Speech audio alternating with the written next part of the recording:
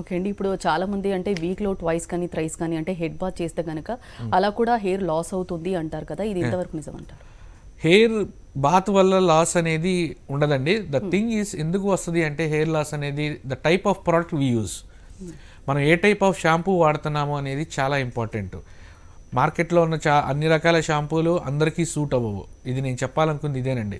ఎప్పుడైనా పీహెచ్ అంటారు. పీహెచ్ మీడియంగా ఉండే షాంపూలు వాడుకోవటం వల్ల ఎప్పుడైనా హెయిర్ హెల్దీగా ఉంటుంది హెయిర్ ఫాల్ ఉండదు. ఇట్లాంటి ఫర్దర్ సమస్యలు కూడా రాకుండా ఉంటుందండి. అది ఎట్లా తెలుస్తుందండి మాకు? మా నా హెయిర్కి ఏ పీహెచ్ కావాలి అనేదంటే డెఫినెట్గా మీరు ఒకసారి మీ మా హెయిర్ స్పెషలిస్ట్ని కలిస్తే కనుక మీ హెయిర్ని ఎగ్జామిన్ చేసి ఏ పీహెచ్ షాంపూ అయితే మీకు పర్ఫెక్ట్గా సూట్ అవుతుంది అనేది కూడా రికమెండ్ చేయడం జరుగుతుందండి. ఓకే ఇప్పుడు దట్టు రూట్ కాజ్ కూడా ఉండే అవకాశం ఉంది అంటారు కదా ఇది కూడా నిజమే అంటారా? ఏదండి? హెయిర్ లాస్ అవ్వటానికి అంటే బట్టతల రావడానికి.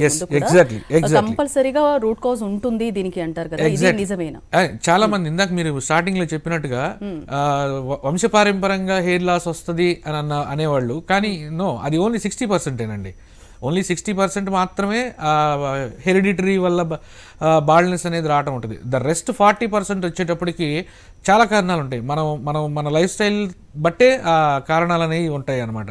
హెయిర్ లాస్ కానీ లేదంటే బాల్నెస్ రావటం అనేది కానీ rest of the forty percent మనం వాడే షాంపూలు కానీ మన స్ట్రెస్ ఫ్యాక్టర్స్ కానీ మన బాడీలో హార్మోనల్ చేంజెస్ కానీ వీటి వల్లే మనకి జుట్టు రాలిపోవటం కానీ వాల్నెస్ రావటం అనేది జరుగుతుందండి.